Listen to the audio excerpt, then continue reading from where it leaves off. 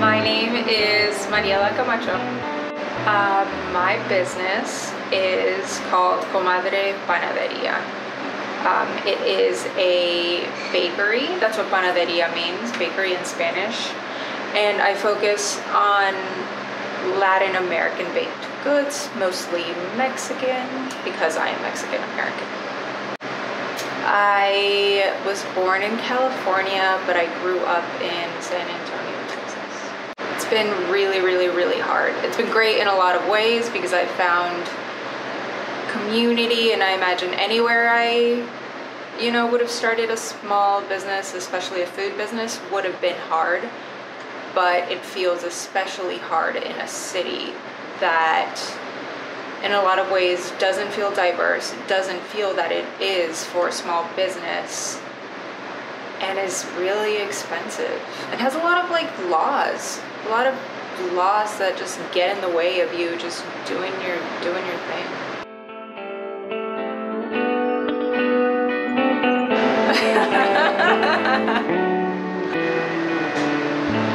Gosh, I don't know, probably when I'm resting my body.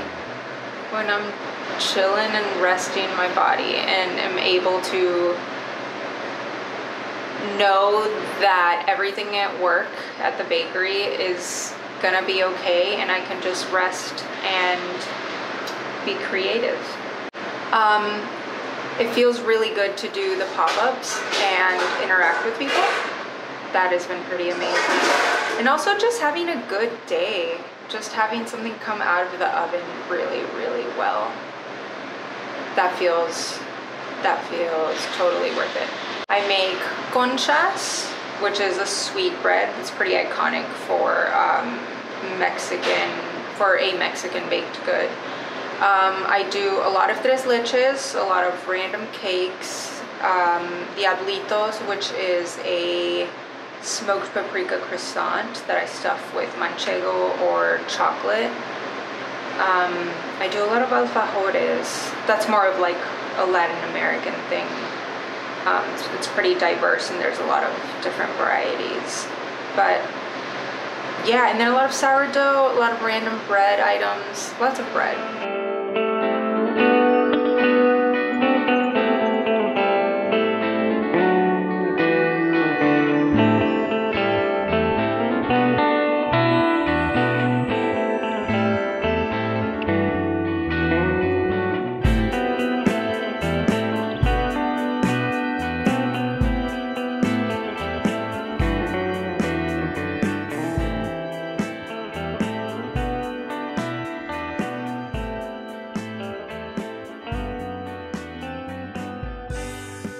Take care of yourself.